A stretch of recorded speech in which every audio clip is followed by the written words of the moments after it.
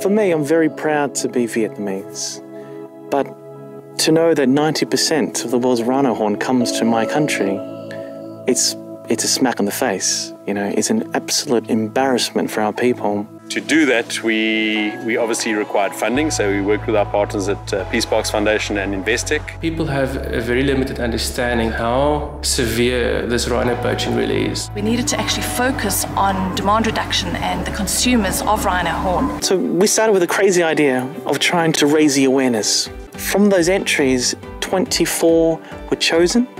They are here now. I don't know what's the feeling's gonna be like, but I'm hoping for something like great.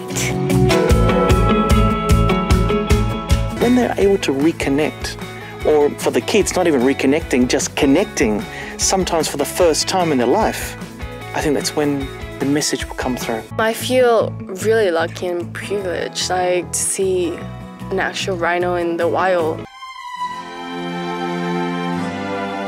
To see them roaming wild and free, it was a really magical moment.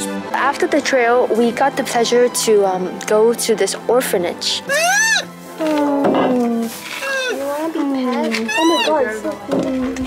It saddened me how like they were so small, like just like us or maybe smaller, and they already lost their parents. I feel ashamed, to be honest. Um, I, I just feel so emotional, and then I, I just sometimes I, I, I hate being Vietnamese people, you know, some some stupid people, and then just ruin it.